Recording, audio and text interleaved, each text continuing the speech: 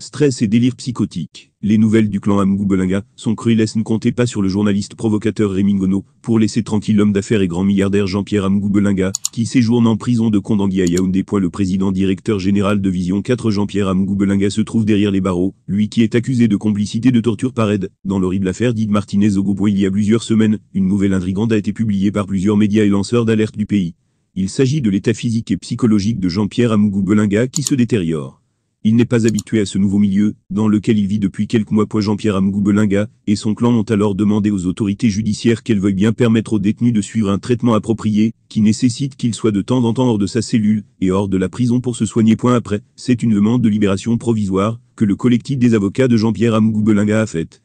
Rémi Gono informe une nouvelle fois que c'est purement de la folie qui dérange le suspect et les personnes qui l'entourent. Dans une nouvelle vidéo sur sa chaîne YouTube, le Camerounais qui vit maintenant en France fait savoir que l'avocat de Jean-Pierre Amgou Belinga se met à délirer. Pour il explique que l'avocat de Jean-Pierre Amgou Belinga pleure et se met à délirer. Mais encore souligne le consultant de la RFI Rémi Gono, Laurent Esso fait pression sur le juge Gilbert Schlick. Suivre plutôt la vidéo.